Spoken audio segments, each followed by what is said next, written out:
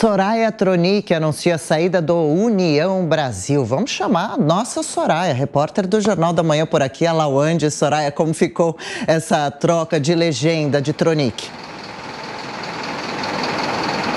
Pois é, Adriana. A nossa produção, inclusive, entrou em contato com a assessoria da parlamentar que confirmou, então, a troca de partido. Soraya Tronic vai deixar o União Brasil e deve se filiar ao Podemos. Inclusive, essa troca está sendo encarada como uma estratégia política. A cerimônia que vai selar, então, a ida e a filiação eh, de Soraya Tronic ao Podemos deve acontecer amanhã, quarta-feira, dia 28, na liderança do Podemos no Senado Federal é, e também a parlamentar já deve depois é, fazer uma coletiva de imprensa para para os jornalistas. Esse movimento de troca já estava sendo articulado e chegou até a ser desmentido pela assessoria e também pela própria parlamentar em suas redes sociais. Quem nos acompanha por imagens vai acompanhar também esse post que foi feito no Twitter no dia 14 de junho e que diz que não procedia a informação sobre essa filiação da senadora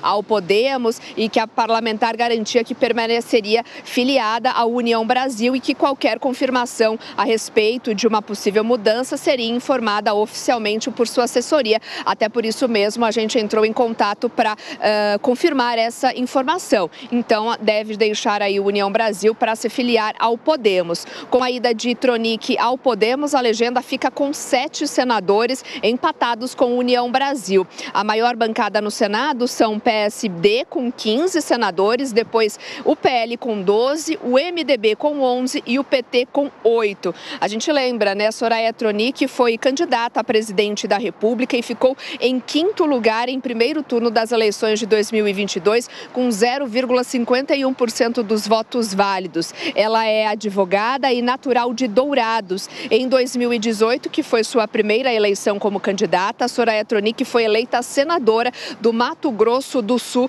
pelo extinto PSL, partido que se fundiu ao DEM para formar o União Brasil. Adriana. União Brasil agora então vai para o Podemos. Soraya Tronic, valeu. Soraya Lawande, daqui a pouco de volta por aqui.